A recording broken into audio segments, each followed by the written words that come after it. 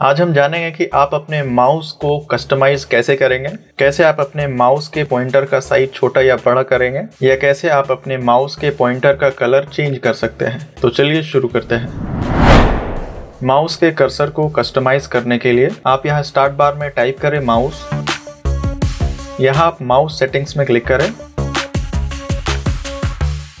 यहाँ adjust mouse and cursor size में click करें। यहाँ आप देख सकते हैं कर्सर का सेटिंग ओपन हो चुका है।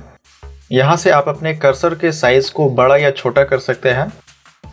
इस तरह आप कर्सर के साइज़ को एडजस्ट कर सकते हैं।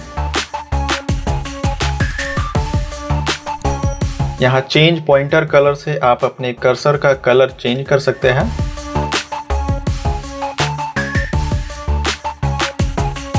यहाँ से आप कोई पर्टिकुलर कलर सेट कर सकते हैं।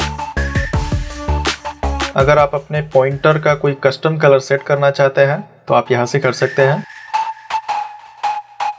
अगला ऑप्शन है make the cursor easier to see when typing जब आप किसी भी डॉक्यूमेंट में कुछ भी टाइपिंग करते हैं, उस समय कर्सर का जो थिकनेस होता है, उसका साइज़ आप यहाँ से एडजस्ट कर सकते हैं।